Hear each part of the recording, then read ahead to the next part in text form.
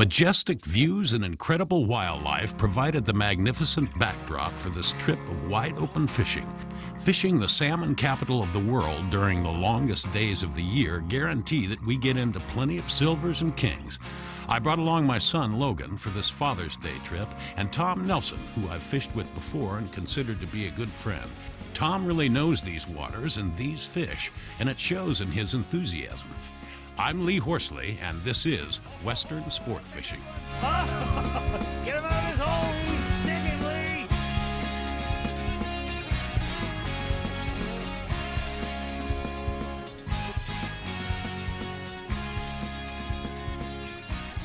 Good job, Lugs. Double hook up, pal. Ass. Buddy. Little buddy. Nicely done, gentlemen. Come on, baby. Come to Papa. Looks like he's all there. The fishermen are not the only ones after these salmon. Many other predators come here as well. And where predators meet, there's bound to be a clash. Man, he just... Oh, you... Oh, excuse me. Don't worry about the sea lion. Sorry about that. Sorry about that.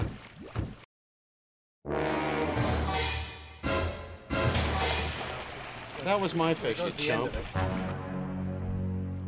So here's our dirty downrigger trip. You got your uh, your basic 15 pound downrigger ball with a fin. Right.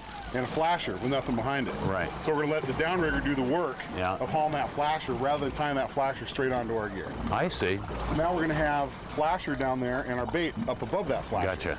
So we get all the benefits of the flasher, but we, we don't have to experience the drag of that flasher while we're Right. playing our fish. Yeah. We have herring, Okay. Is that like fresh dead or lightly killed, yeah, lightly killed herring. Yes. lightly killed? All right.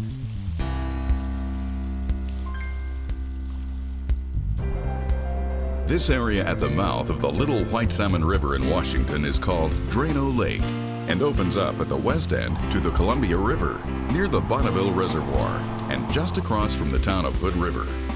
Several hatcheries in the area help guarantee that this remains a thriving fishery.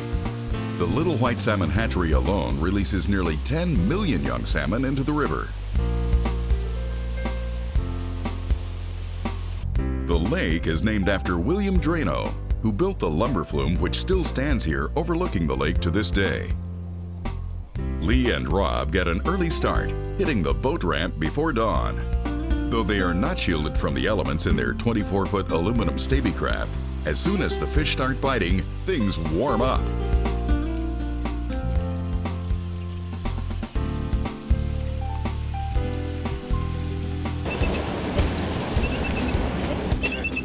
Now this is an old school Chinook, brother. You Old ready? school, yeah.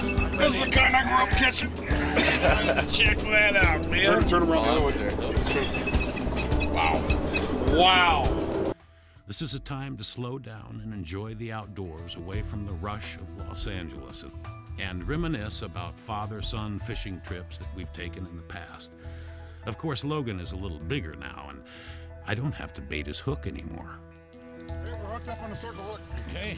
He was he was shaking shaking a little bit at at first. Hard, steady pull. Yeah. Yeah, you got another wing. There he is. Whoa! Ling a dingster. Look at that. On a jigster. Look Okay. at that. Man, that was a pound. He Yeah. jumped all over. it. Should we measure him, Lee? Yeah. I think he's just over. He's this one. Check him out. Oh well, he'll, he'll be okay. Okay, he's got to be 35, and he's way over. He's way over. That nice is a swing, though. monster, Tom. he's a dandy, bud. Big old bullhead, huh? That buddy? is fantastic. Yeah, we're gonna slip this jig out of his mouth, and let him go, Lee. What do you think? bud? I think so. okay, buddy. It's a good fight. All right, buddy. Today, I've left Hollywood for the Northwest to fish off the Oregon coast. For this two day excursion, we experienced the whole gamut of weather conditions, from beautiful sunny afternoons to turbulent seas and overcast skies. I'm joined by Bob Amon of Amon Marine, an avid fisherman who grew up in these waters. The ocean salmon are hot, and a few unexpected species show up as well. So join me, Lee Horsley, right now for Western sport fishing. On the first day, I met Captain Bob and guide Walter at the Newport Marina, which is located under the historic Newport Bridge. Bob Amon owns and sells Glacier Bay catamarans and has provided a luxurious ride for the trip. Newport is a quiet little ocean town compared to its Southern California counterpart the same name.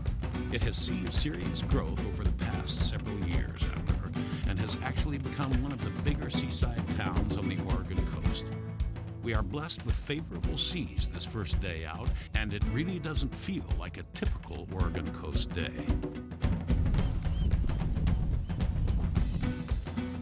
There he is.